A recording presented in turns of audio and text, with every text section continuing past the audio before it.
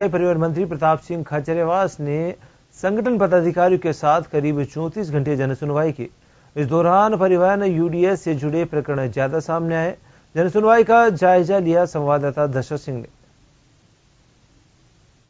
मुख्यालय में परिवहन मंत्री प्रताप सिंह खाचरियावास खुद जन सुनवाई करते हैं। सब क्या लगता है आज किस तरह की शिकायतें सबसे ज़्यादा आई है?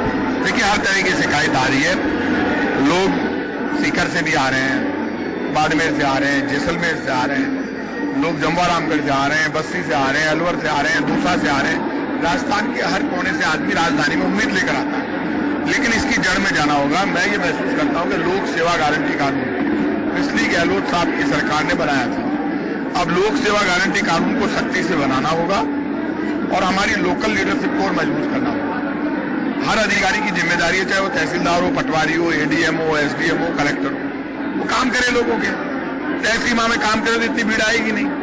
जिस ढंग से भीड़ बढ़ रही है सुबह से लगातार, इसका मतलब लोगों को रिलीफ नहीं मिलता, तभी तो लोग परेशान होते हैं। पाँच वर्ष तक बीजेपी की सरकार ने काम नहीं किया, उसके बाद हमारी सरकार आई है, लोग हमसे उम्मीद करते हैं। और उन उम्मीदों पर खड़े उतरना, लोगों का काम करना, ये हमारी ज़िम्मेदारी है, वो काम हम करेंगे।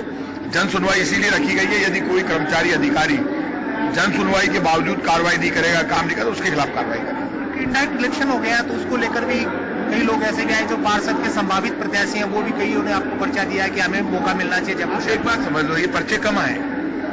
यहाँ पड़े पर्चे, आप चेक कर लें। मीडिया का यही सवाल रहता है बार बार साहब, चुनाव वाले नहीं आए, भीड़ ज़्यादा, कांग्रेस कार्यालय में आज पहली बार आई है, पहले भी आते मेरे घर आ जाओ आप इससे ज़्यादा भीड़ है रोज। ये कोई इश्यू नहीं है। कहाँ है मुझे बताओ, चुनाव वाले?